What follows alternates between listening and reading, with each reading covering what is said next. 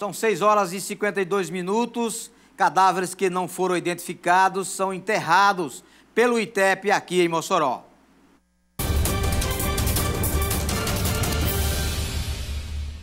A equipe de reportagem do Ronda Policial acompanhando aqui um processo de inumação de cadáveres,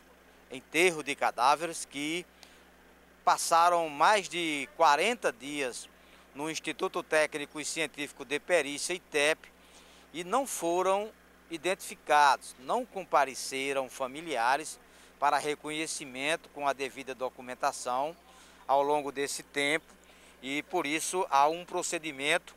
do Instituto Técnico e Científico de Perícia, ITEP, para que os cadáveres sejam enterrados como indigentes. É, esse é um processo que é autorizado pelo Judiciário e hoje são quatro cadáveres que estão sendo inumados aqui no cemitério novo em Mossoró. São três ossadas e um cadáver que foi encontrado boiando nas águas do rio Mossoró no dia 30 de julho passado e que até hoje né, o ITEP fez de tudo para que familiares, é, comparecessem à unidade hospitalar, à unidade pericial, para que reconhecessem esse corpo, um homem encontrado boiando nas águas do Rio Mossoró,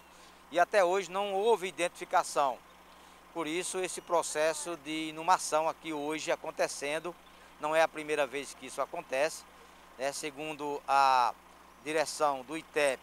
há um prazo de 40 dias Caso não apareça família, não seja identificado, então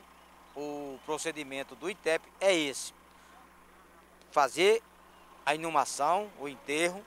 né, e as pessoas aí sendo enterradas como indigentes, sem qualquer identificação pessoal, não apareceu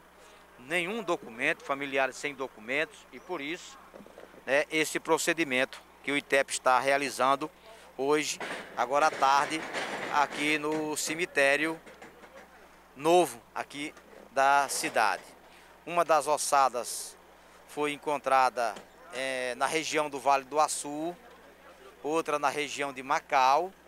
e esse,